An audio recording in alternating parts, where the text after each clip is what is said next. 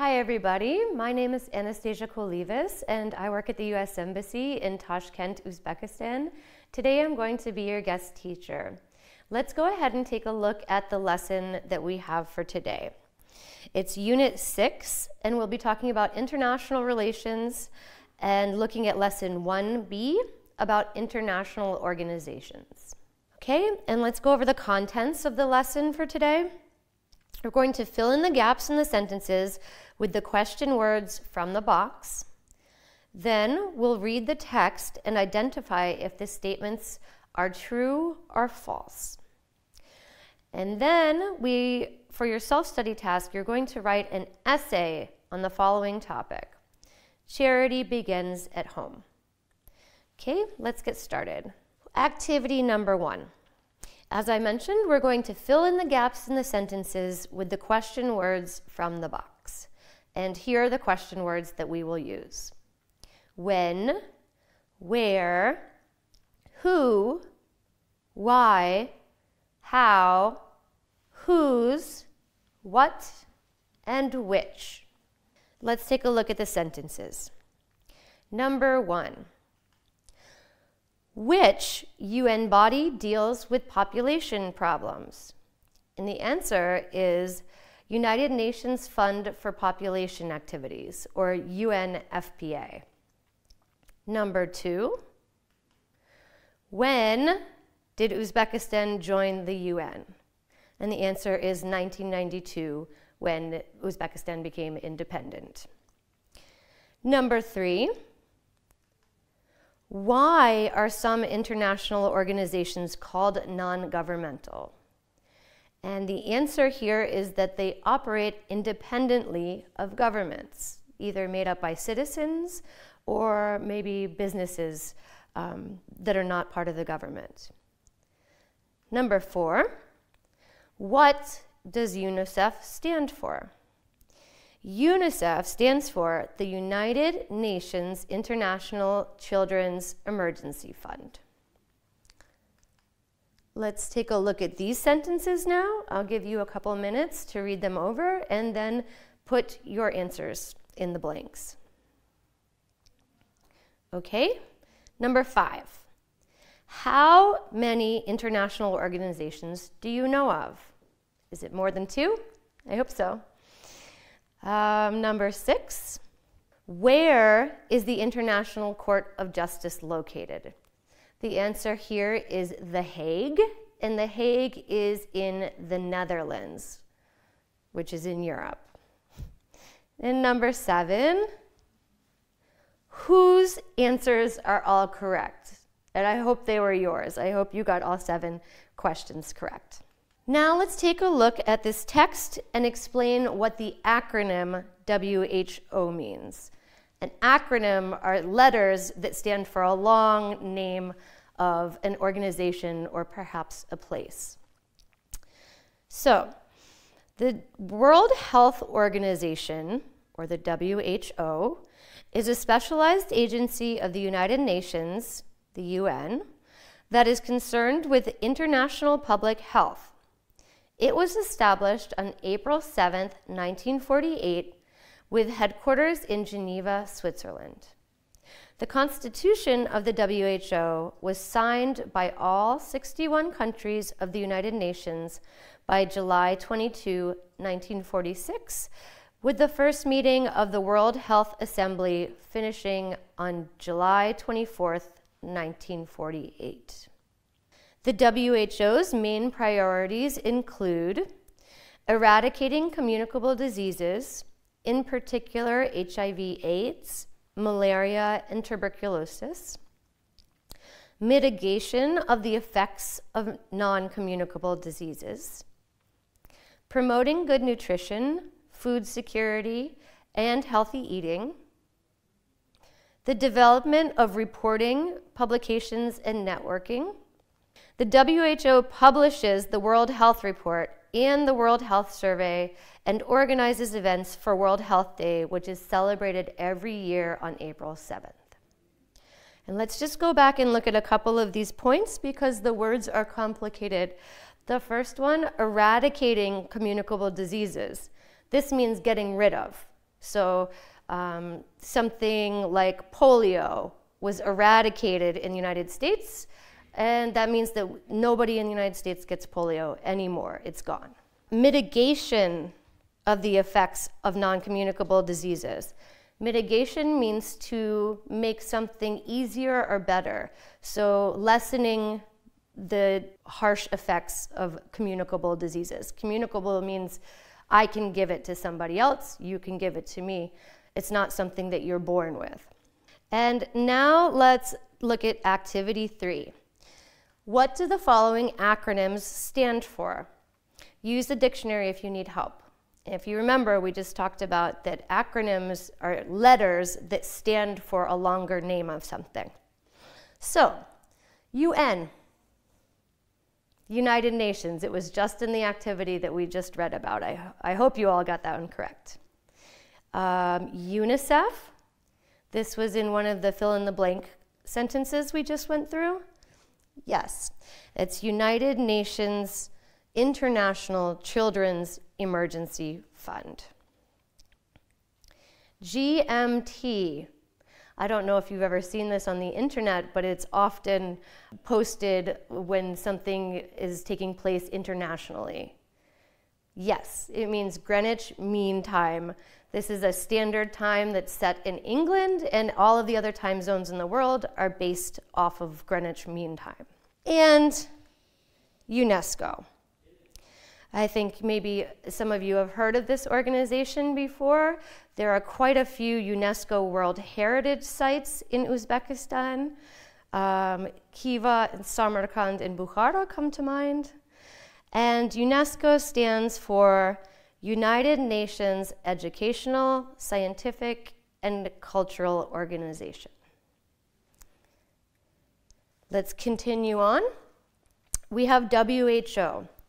We just read a summary about what the WHO does, and I hope you remember that WHO stands for World Health Organization. Next, we have DWF. This is one that I had to look up because I actually didn't know it. It is Design Web Format. And then the last acronym that we have is NATO. You might have heard about this in the news. Um, this stands for North Atlantic Treaty Organization. And now let's go on to activity five on page 96. We're going to read the text and identify whether the statements are true or false.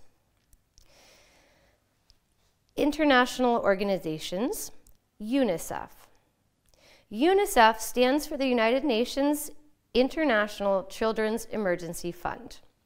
It was created by the United Nations General Assembly on December 11, 1946, to provide emergency food and health care to children in countries that had been devastated by World War II. In 1954, UNICEF became a permanent part of the United Nations system. UNICEF relies on contributions from governments and private donors. Continuing, governments contribute two thirds of the organization's resources. Private groups and some 6 million individuals contribute the rest through the national committees. Most of UNICEF's work is in the field with staff in over nine, 190 countries and territories. More than 200 country offices carry out UNICEF's mission through programs developed with host governments. Seven regional offices provide technical assistance to country offices as needed. UNICEF's programs emphasize developing community level services to promote the health and well being of children. UNICEF was awarded the Nobel Peace Prize in 1965 and the Prince of Asturias Award of Concord in 2006. Number one, UNICEF was established before the end of World War II. We know that that is false because it was established to help children after their countries had been devastated by World War II. Number two, the organization relies only on government's contributions. We know this is false because we just read that private citizens and other donors also contribute to UNICEF. Number three, most of UNICEF's work is in its headquarters. We know this is false. It's, we just read that most of UNICEF's work takes place abroad in the countries um, that they're assisting. And number four, UNICEF has won two international awards. And that's true. That was in the last couple sentences we just read. Okay, let's do activity six now. Read the quotes below. Do you remember any other quotes which were written by our predecessors? Please give an example. Okay, and the first quote is Only a life lived in the service to others is worth living. This is by Albert Einstein, who you probably recall is a very famous scientist. Um, and then our second quote is by Abraham Lincoln, who was the 16th President of the United States. No one has ever become poor by giving. And now we have our topic for self study this week. Please write an essay on the following topic Charity begins at home. Try to answer the following questions in your essay. Use words and phrases which you have learned in this unit. Number one, what is charity? Number two, do you give money to homeless people? Do you think people should give money to homeless people? Please write why or why not. Number three, who do you think needs charity the most? And number four, how often do you do charity? When and how? Okay, and that's it for this week. I hope you've enjoyed your lesson. Um, thanks for having me as your guest teacher. I'll see you next time. Bye. assalomu alaykum aziz o'quvchilar bugungi mavzuyimiz laboratoriya ishi demak navbatdagi uchinchi laboratoriya ishi bu matematik mayatnik yordamida erkin tushish tezlanishini aniqlash mavzuni daftaringizga yozib oling. Laboratoriya ishlarini bajarish tartiblari bilan tanishamiz. Hamda eksperimental ravishda bajarib ko'ramiz. Har bir darsni o'z rejasi bor. Demak laboratoriya ishi bajarishda albatta texnika xavfsizligi qoidalariga qat'iy rioya qilishimiz kerak. Laboratoriya ishini bajarishda kerakli jihozlar bilan yaxshilab tanishib olishimiz zarur bo'ladi hamda ishni bajarish tartibini albatta bir ko'rib chiqishimiz kerak bo'ladi. Ishdan maqsad erkin tushish tezlanishini matematik mayatnik yordamida aniqlashni o'rganishdan iborat. Bizaga kerak bo'ladi matematik mayatnik laboratoriya universal shtativi sekundomer va o'lchov lentasi. Laboratoriya stolini ustida mana shu jihozlarni hammasi keltirib qo'yilgan. Shtativ matematik mayatnik o'lchov lentasi va sekundomerdan iboratdir. Ishni bajarish tartibi. Birinchi bo'lib ipni uzunroq holatda mahkamlab uning uzunligi o'lchanadi. Bunda albatta ipga osilgan sharchaning radiusini ham qo'shishimiz kerak bo'ladi. Sharchani muvozanat vaziyatidan uncha katta bo'lmagan burchakka og'dirib tebrantiriladi. Burchak unchalar katta bo'lmasligi kerak. Aks holda ishimiz natijasi biroz xatoroq bo'lishi mumkin bo'ladi. Ya'ni burchakni taxminan olti sakkiz gradus oralig'ida olishimiz kerak. Mayatnikning yigirmata o'ttizta va qirqta tebranishlari uchun ketgan vaqtlar sekundomer yordamida o'lchab olinadi. Olingan natijalari asosida har bir holat uchun tebranish davri hisoblab chiqiladi. Tebranish davrini topilganidan so'ng j barobar to'rt pi kvadrat l taqsim t kvadrat formula yordamida erkin tushish tezlanishlarini qiymatlari hisoblab topiladi. O'lchash va hisoblash natijalarini jadvalga yozamiz. Jadvalga diqqat bilan qarang bu yerda yigirmata o'ttizta va qirqta tebranishlari uchun e, ketgan vaqtlar yoziladi hamda erkin tushish tezlanishlarini qiymatlari yoziladi. Uchta natija olganimiz uchun o'rtacha qiymat hisoblanadi va absolyut hamda nisbiy xatoliklarni hisoblab jadvalni to'ldirishimiz kerak bo'ladi. Ishni bajarish tartibi bilan tanishib olaylik. Diqqat bilan kuzating bu yerda matematik mayatnikning tebranishi ko'rsatilgan va u yerda har bir yigirmata o'ttizta va qirqta tebranishlar uchun ketgan vaqtlar olinadi. Lekin e'tibor berib qarang bu yerda mayatnikning uzunligi bir butun o'ndan besh metrga teng ekanligi yozilgan.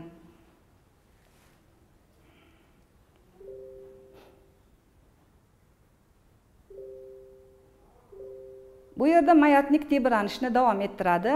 Siz e'tibor bering kinetik va potensial energiyalarning o'zgarishiga. Mayatnik muvozanat vaziyatdan eng katta uzoqlashgan holatida potensial energiyasi eng katta. Muvozanat vaziyatdan o'tayotganda esa kinetik energiyasi eng katta qiymatga ega bo'ladi.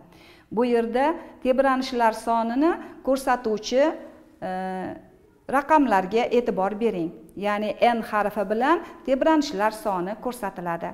Ekranning u tomonida esa tebranishlar uchun ketgan vaqtlar ya'ni nta tebranish uchun ketgan vaqtlar ko'rsatilmoqda.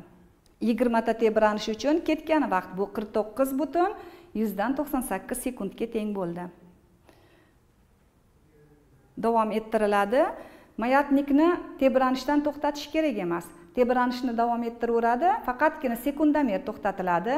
Hamda o'ttizta qirqta tebranishlarini ham mana shu davomida o'lchab boriladi. O'ttizta tebranish uchun ketgan vaqt yetmish to'rt butun mingdan o'ttiz olti sekundni tashkil etdi.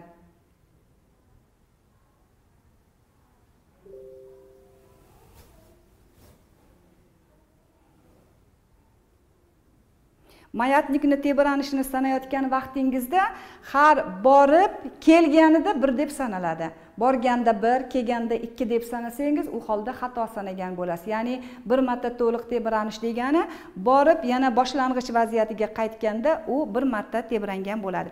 Qirqta tebranish uchun to'qson sakkiz butun mingdan olti yuz to'qson yetti sekund sarflanganini ko'rishimiz mumkin bo'ladi. Kelinglar aziz o'quvchilar o'zimiz yasagan mayatnik yordamida erkin tushish tezlanishini aniqlashga harakat qilib ko'raylik. Mayatnikni ipini uzunligini o'lchash uchun uning boylangan qismidan to sharchani tugash qismigacha o'lchanadi. Bu qirq sakkiz santimetrni tashkil etdi. Demak biz uni yozib qo'yamiz metrga aylantirgan holda yozamiz. L mayatnikning uzunligi l barobar nol butun yuzdan qirq sakkiz metrga teng bo'ldi.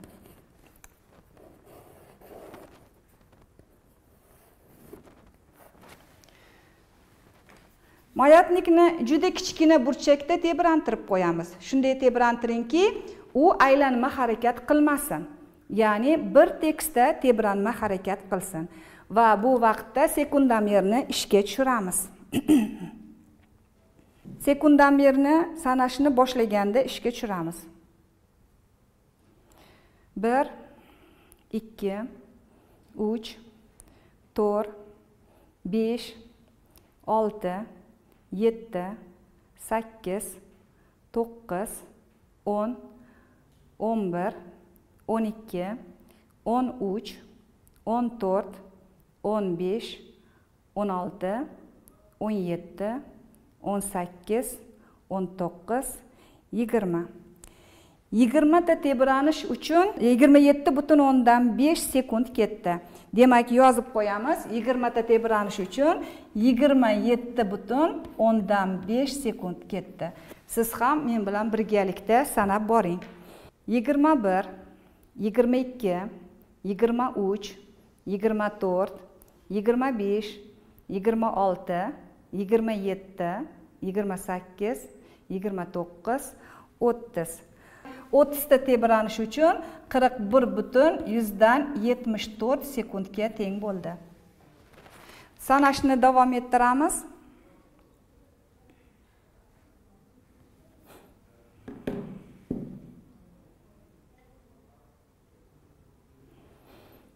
o'ttiz bir o'ttiz ikki o'ttiz uch o'ttiz to'rt o'ttiz besh o'ttiz olti o'ttiz yetti o'ttiz sakkiz o'ttiz to'qqiz qirq. Qirqta tebranish uchun ellik besh butun o'ndan to'qqiz sekund vaqt sarflandi. ellik besh butun o'ndan to'qqizni yozib olamiz. Mana sizlar bilan yigirmata o'ttizta va qirqta tebranishlar uchun ketgan vaqtlarni o'lchab oldik. Bu o'lchashlar yordamida tebranish davrlarini hisoblaymiz. Buning uchun har bir holatda ketgan vaqtni e, tebranishlar soniga bo'linadi. Formula yordamida har bir tebranishlar uchun tebranish davrini hisobga oldik e, hisoblab oldik. Hisoblarga e'tibor bersangiz albatta tebranish davrlari bir biriga juda yaqin sonlar chiqqanini ko'rgan bo'lishimiz ko'rgan bo'lishingiz kerak.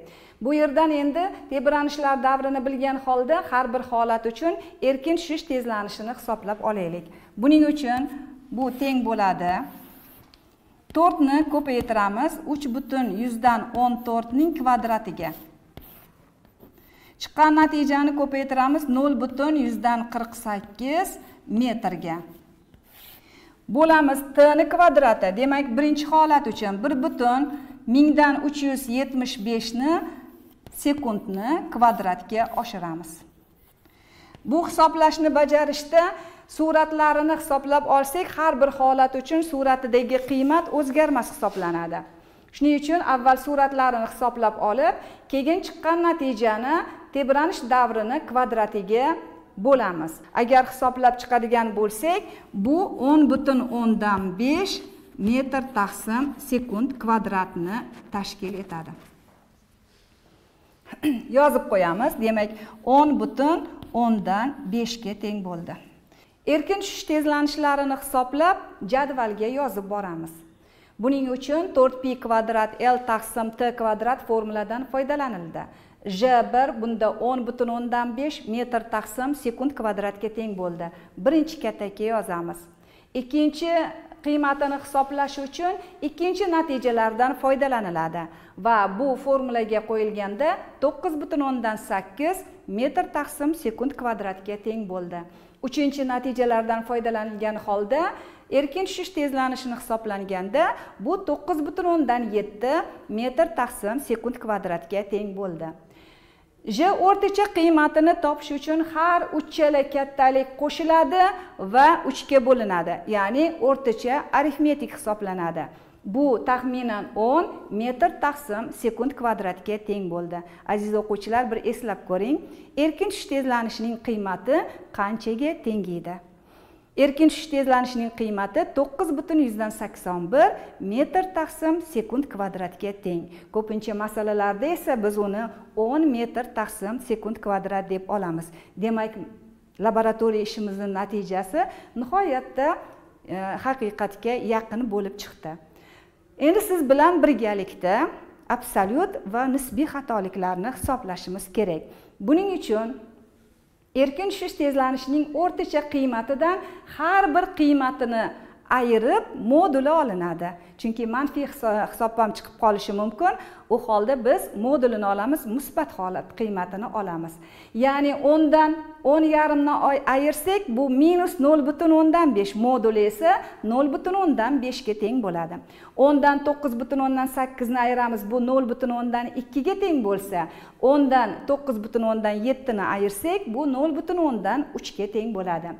Absolyut xatolikni o'rtacha qiymatini olish uchun uch uchala natijani qo'shiladi va uchga bo'linadi. Bu o'rtacha hisobda nol butun yuzdan o'ttiz uchga teng bo'ldi.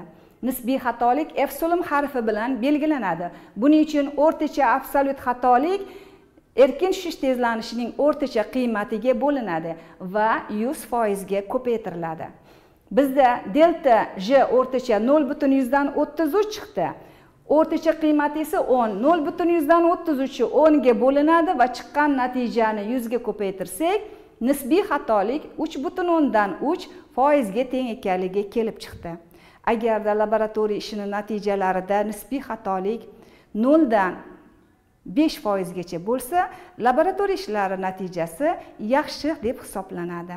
Bizda esa uch butun o'ndan uch foizga teng bo'ldi. Yozib olgan bo'lsangiz u holda mustaqil bajarish uchun topshiriqlarni yozib oling. Bu laboratoriya ishini uyda ham mustaqil bajarib ko'rishingiz mumkin. Mustaqil bajarish uchun topshiriqlarni yozib oling. Birinchi topshiriq. Mavzuga oid savollarga javob yozish. Bu darslikda sakson oltinchi betda. Ikkinchi topshiriq. Laboratoriya ishi natijalarini tahlil qiling va daftaringizga xulosa yozing. Topshiriqlar tushunarli bo'lsa shu bilan bugungi darsimiz nihoyasiga yetdi. Keyingi darslarda uchrashguncha xayr.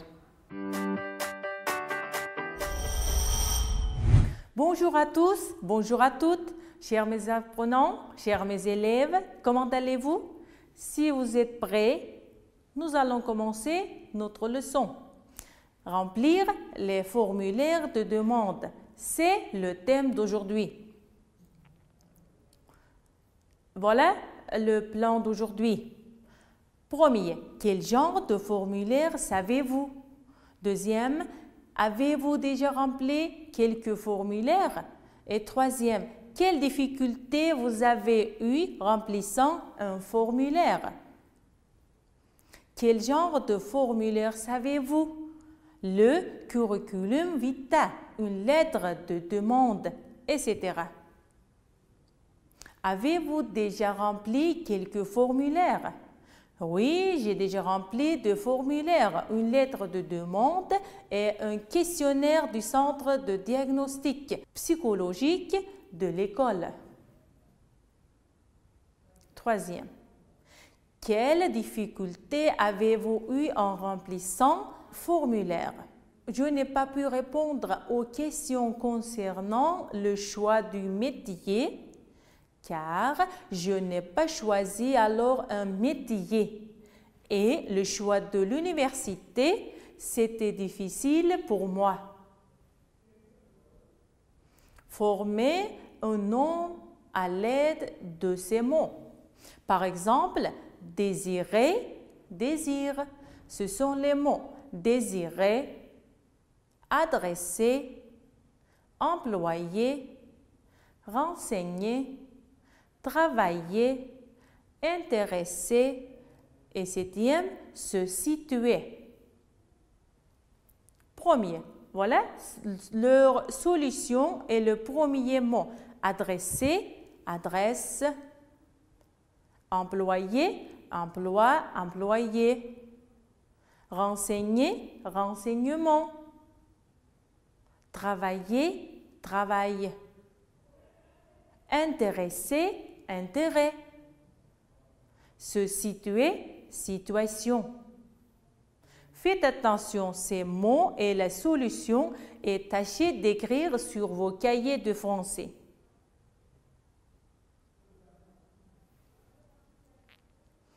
Situation, travail en binôme.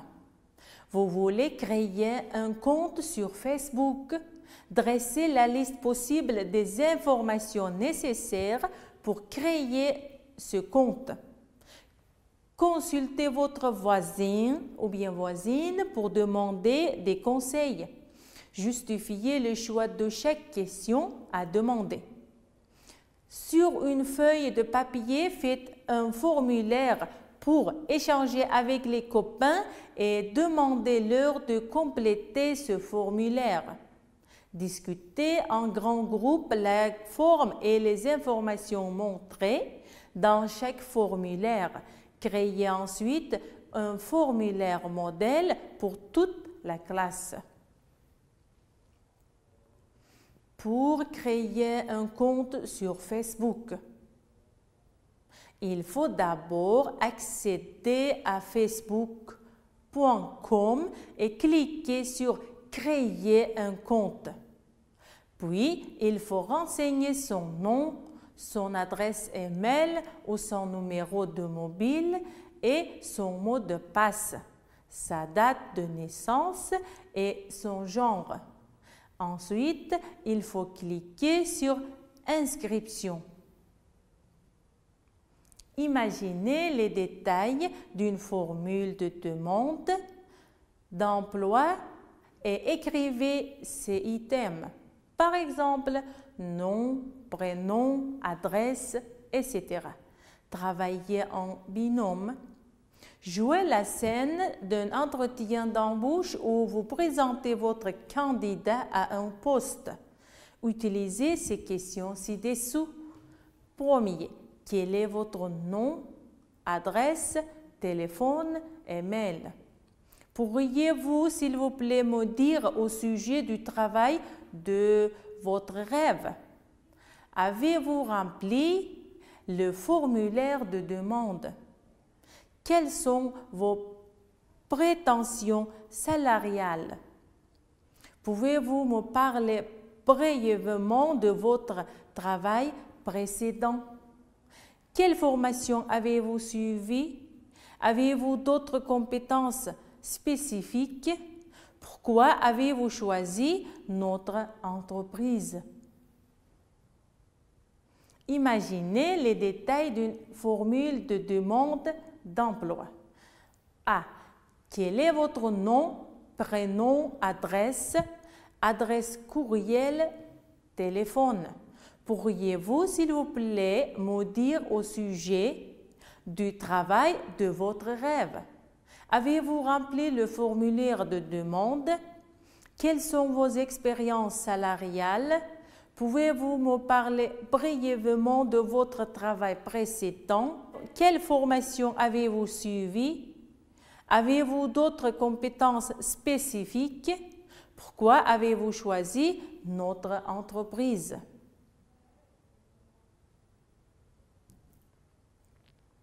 Ce sont leurs solutions. Abdullayev Madina, 47 rue Navoï, Tashkent.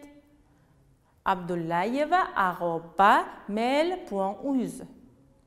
Voilà, c'est le numéro de son portable.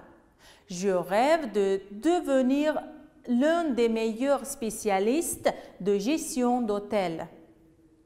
J'ai déjà rempli le formulaire de demande quand j'ai été admis au travail à l'hôtel Grand Mire.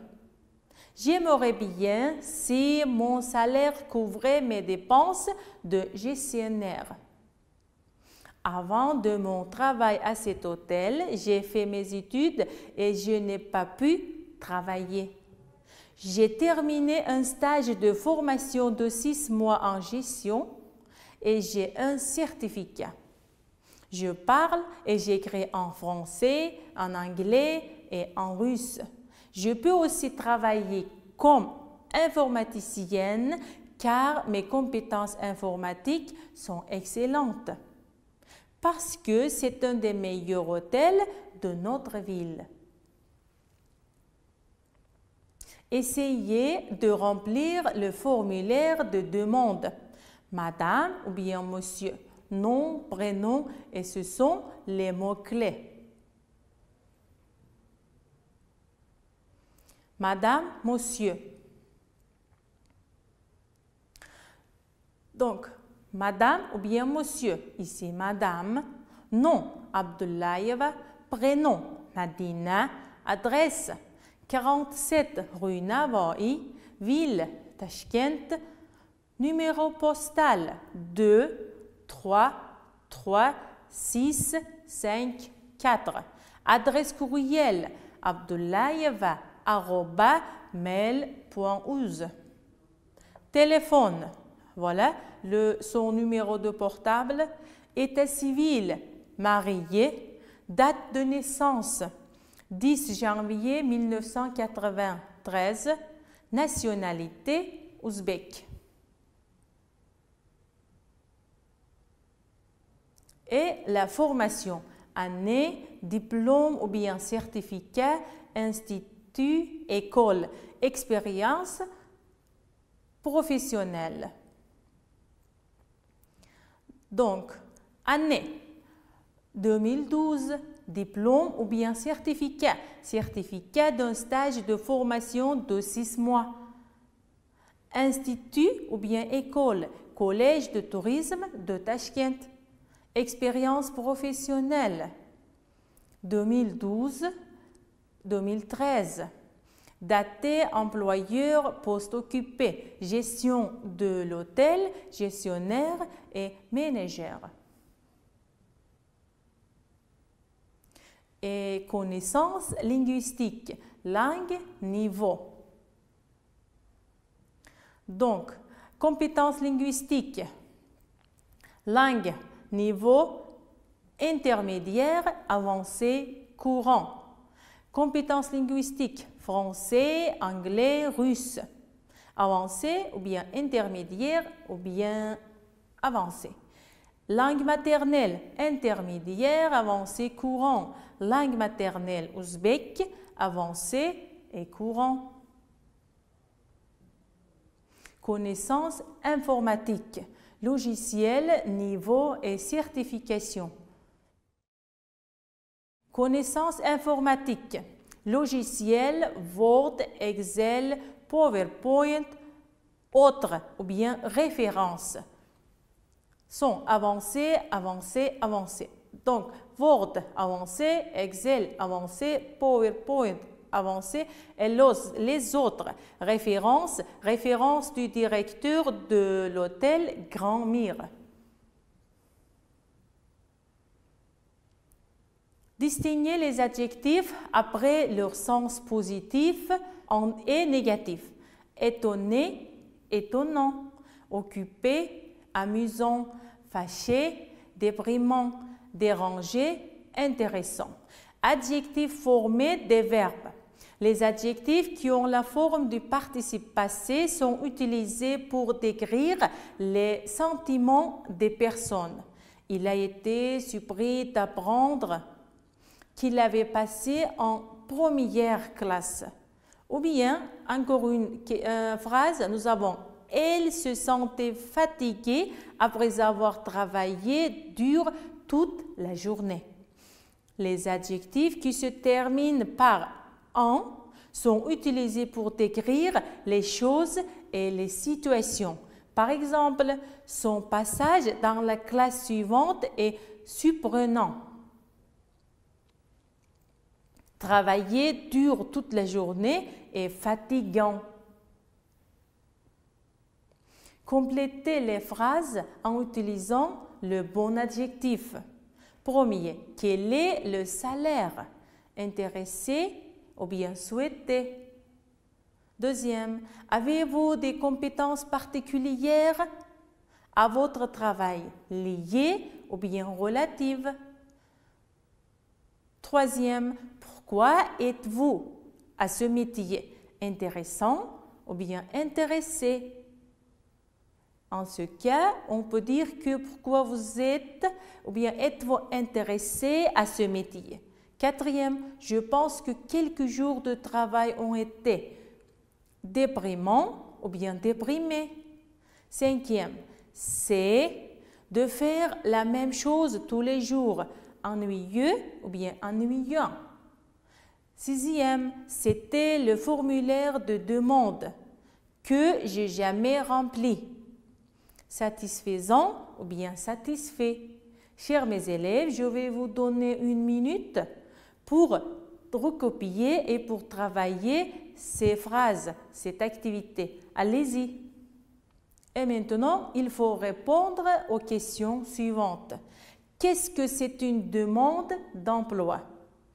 Deuxième question. Pour quel emploi avez-vous fait une demande? Quels sont les items d'une demande d'emploi Ce sont les réponses. Une demande d'emploi, c'est une lettre d'officiel où on donne ses coordonnées personnelles, professionnelles, aussi ses goûts de travail. Je n'ai pas encore fait une demande d'emploi car je n'ai aucun diplôme ou bien au certificat. Je ne sais pas exactement quels sont les items, mais je pense que ça doit être le formulaire. Et maintenant, chers mes élèves, chers mes apprenants, tâchez d'écrire le devoir à la maison. C'est sur la page 89. Lisez le texte suivant sur demande d'emploi et remplacez les lacunes par des mots ci-dessous impression, suggestion, curriculum vitae, précise, demande d'emploi. Voici les informations que vous pouvez recueillir pour remplir un formulaire de demande d'emploi. Tâchez d'écrire, je vais vous donner une minute pour recopier ces mots informatiques.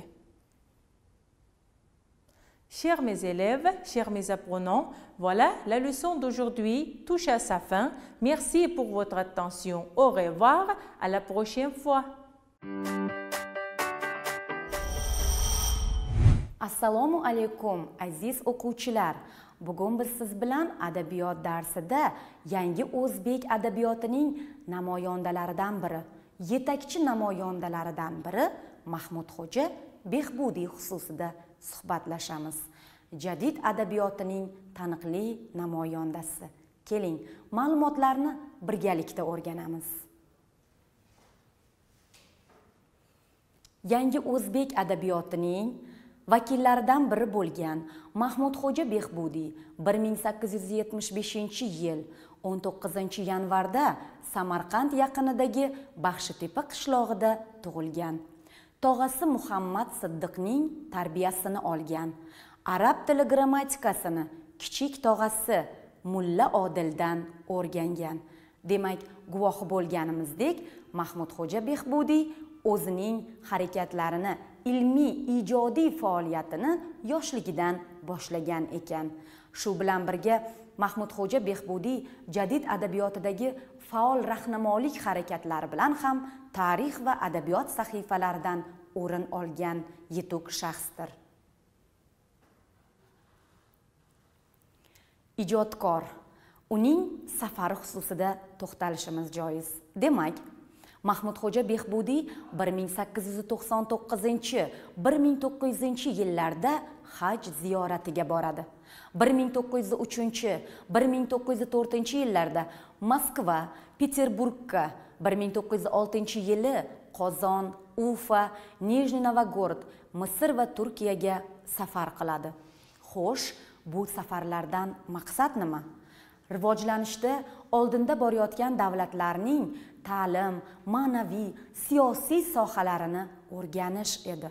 Behbudiy o'z yurtiga turkiston o'lkasiga kelib ularni qanday tatbiq etdi? Birgalikda ko'rib chiqamiz. Avvalo ushbu ijodkorning ya'ni mahmud xo'janing taxallusiga e'tiborimizni qaratamiz. Behbud ushbu so'z foyda najot baxtli tinch osoyishta degan ma'nolarni anglatadi. Mahmud xo'ja esa uning asl ismi. Behbudiy turkistonda maktab va maorif matbuot va teatr jurnalistika sohalarida ijtimoiy siyosiy adabiy ma'rifiy faoliyat olib bordi. Qishloqlarda tashkil etilgan maktablar uchun bir qancha darsliklar yozdi. Chin ma'noda biz behbudiyni ma'rifat homiysi deb atashimiz mumkindir. O'z davrida insonlarni ma'rifatli qilish orqaligina taraqqiy etish mumkin deya bayroq ko'targan ijodkor bu behbudiy edi. Hatto o'zining murojaatida behbudiy shunday ta'rif beradi. Barchamizga oftob kabi ravshan va ayondirki maktab taraqqiyning boshlang'ichi madaniyat va saodatning darvozasidir. Har millat eng avval maktab ibtidoiyisini zamoncha isloh etib ko'paytirmaguncha taraqqiy yo'liga kirib madaniyatdan foydalanmas. Jamiyatda neki taraqqiyot bo'lsa barchasiga maktab sababchi. Aslo maktabsiz inson taraqqiyot eta olmaydi deya ta'riflaydi behbudiy. O'zining publitsistik asarlarida o'zining dramasida o'zining yozgan barcha kitoblarida. Behbudiy publitsist.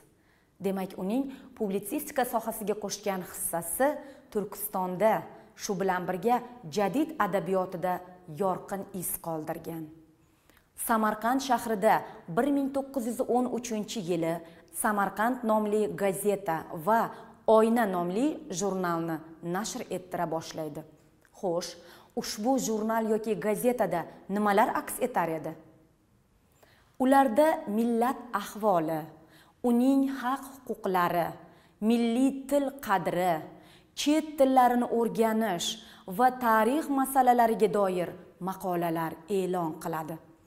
Ushbu jarayonda 20 asr boshidayoq behbudiy ma'rifat ila insonlarning ma'naviy ko'zini ochishga intilgan desak mubolag'a bo'lmaydi. Maorif qurboni. Behbudiyning vafotini shunday atash mumkin. Qo'yingki uning fojiali vafotini.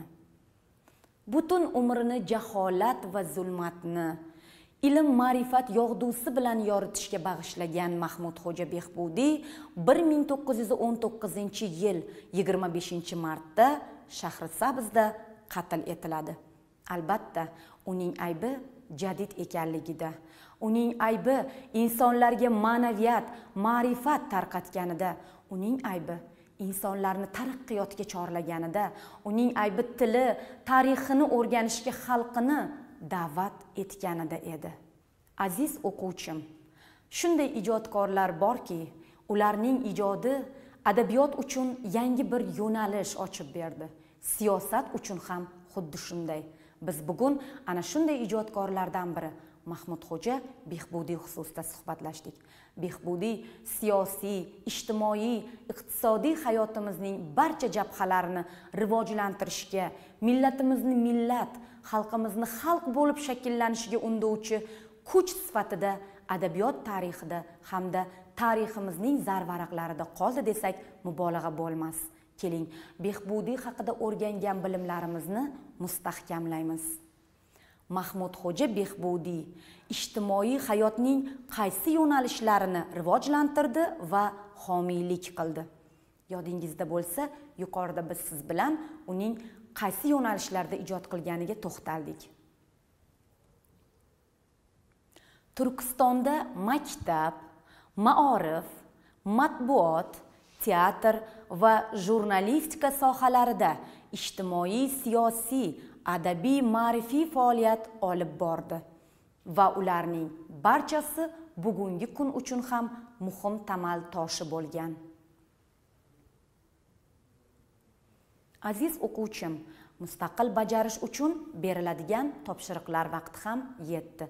Keling birgalikda e'tiborimizni qaratamiz. Behbudiy hayoti va ijodi haqida yangi ma'lumotlar toping.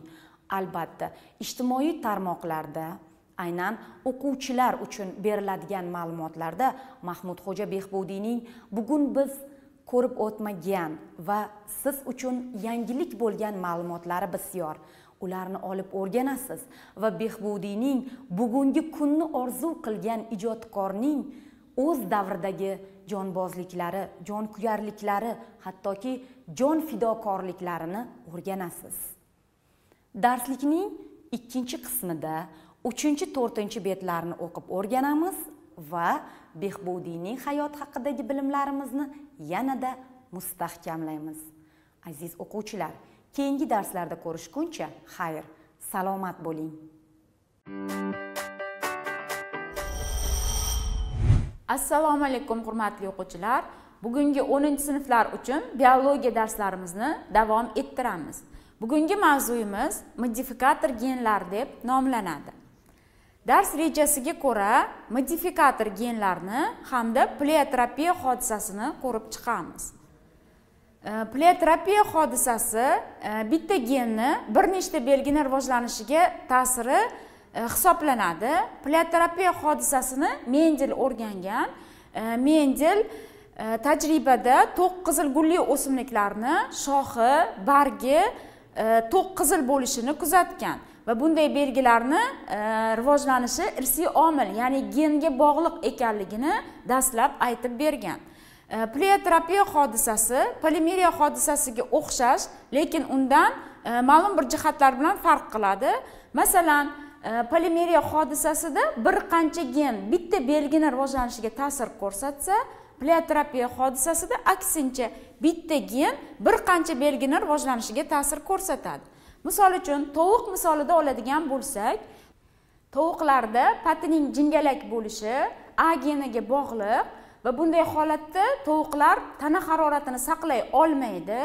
E, hamda bu e, qon tomir sistemasining zo'riqib ishlashiga nafas olishni ham tezlashuviga e, va hayotchanlikni keskin pasayib ketishiga sababchi bo'ladi. Endi keyingi dars jarayonimizda masalalar yechishni ko'rib chiqamiz. Birinchi topshiriqda quyidagicha topshiriq berilgan. Tovuqlarning kalta oyoqli zoti polizlarni titkilab tashlamaydi. Lekin bu belgi tovuq tumshug'ining qisqarishiga ham sababchi bo'ladi. Natijada gomozigotali jo'jalar tuxumni yorib chiqolmay halok bo'ladi.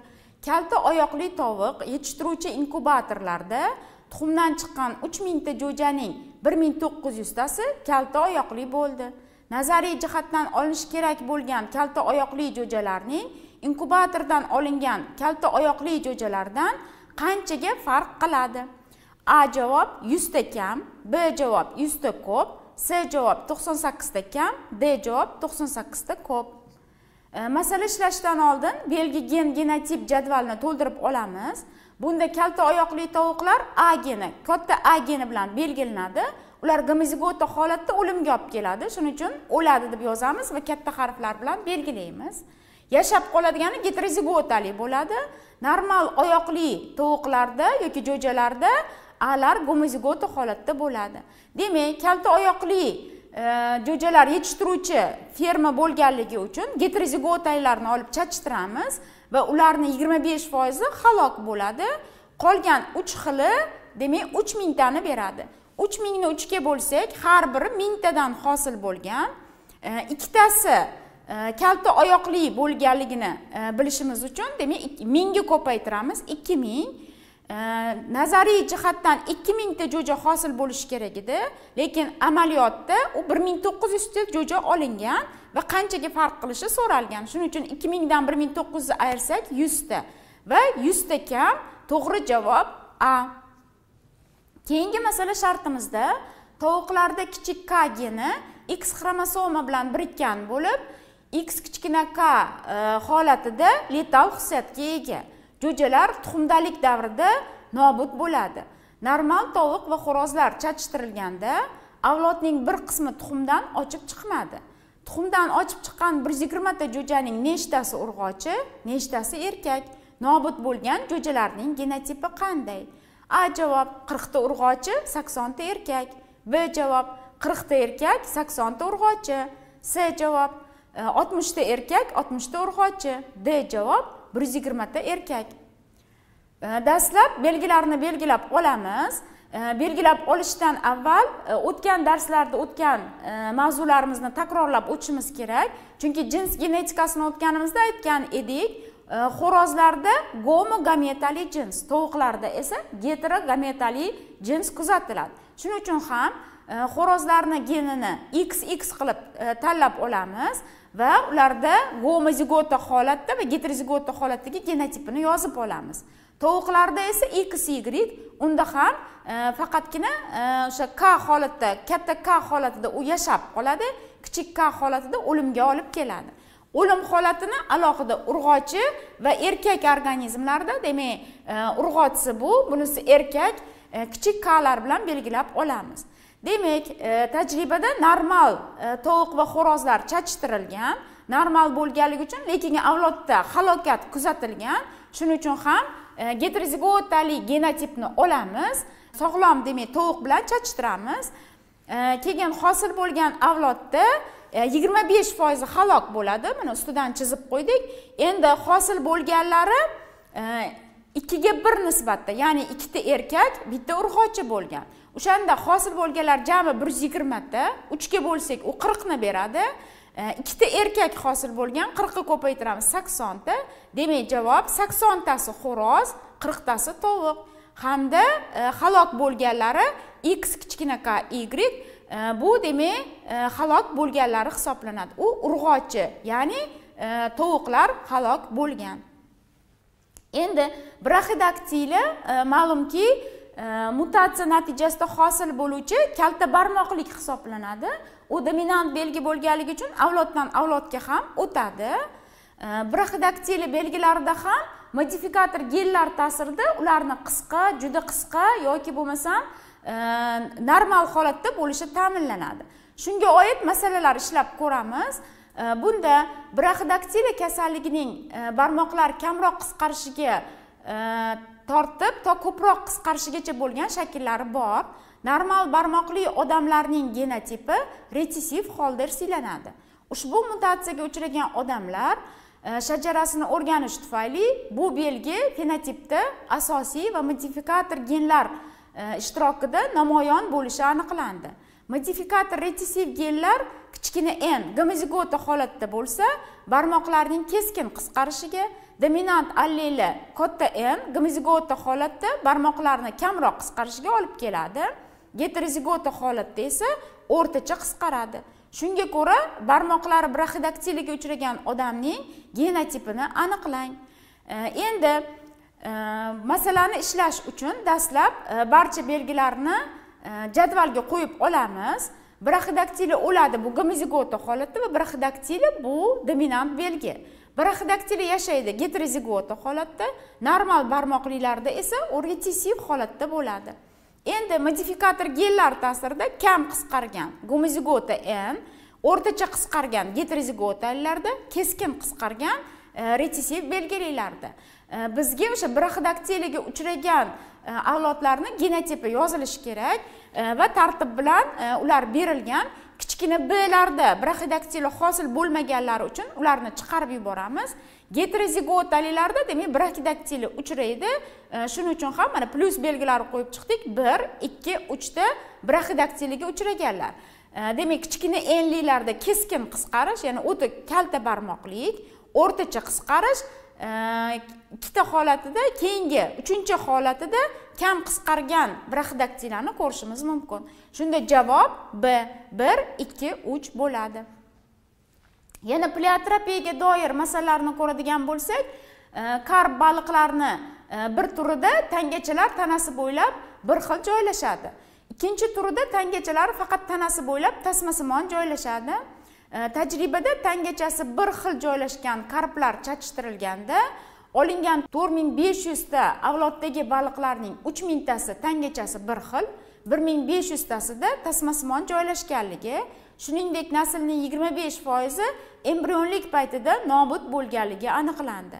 Agar birinchi avlodda olingan har xil fenotipli baliqlar o'zaro chachishtirilsa naslning necha foizi tasmasimon tangachali bo'ladi.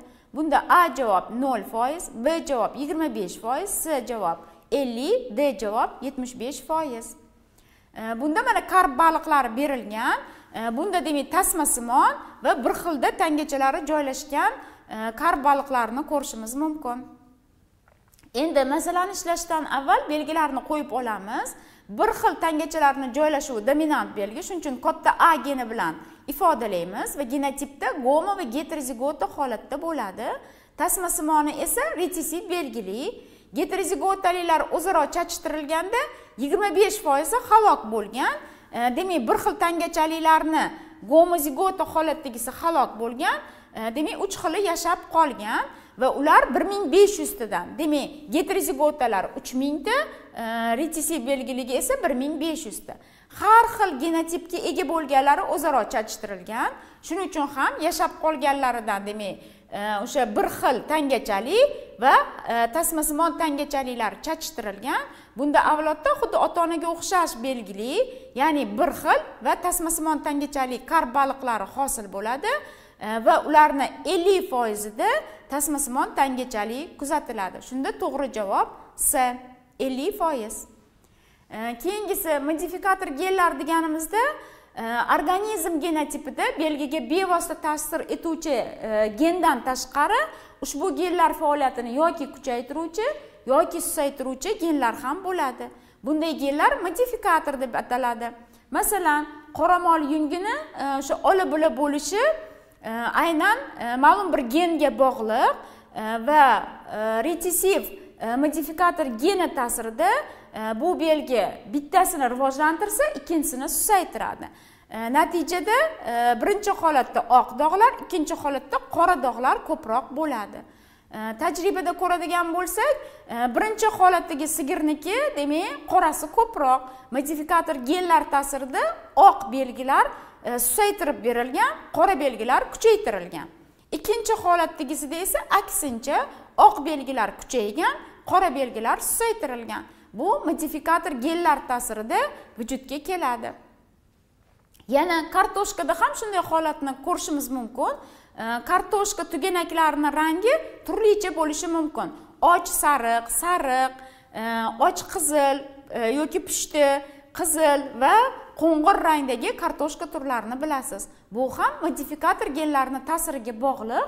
Uni ta'sirida belgilar yoki kuchayishi yoki susayishi mumkin.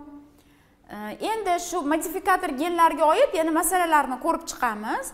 Bunda batat tugunagining rangi ikki juft komplementar genlar yordamida irsiylanadi genotipda a katta b katta genlari qizil a katta b kichik genlari sariq a kichik b katta binafsha rangni e, hammasi retsessiv holatida esa tugunakni oq bo'lishini ta'minlaydi. Rangning to'liq yuzaga chiqishi katta d e, modifikator geniga bog'liq. Modifikator genlar geterozigota holatda rangni och retsessiv gomozigota holatda esa oq bo'lishini ta'minlaydi. Digeterozigota tuganagi och sariq va och binafsha rangdagi o'simliklar o'zaro chachishtirilsa olingan avlodda necha foizda tuganak och qizil rangli bo'ladi? A javob o'n ikki yarim foiz b javob olti oltiyu yigirma besh s javob ellik oltiyu yigirma besh d javob o'n sakkizu yetmish besh foiz.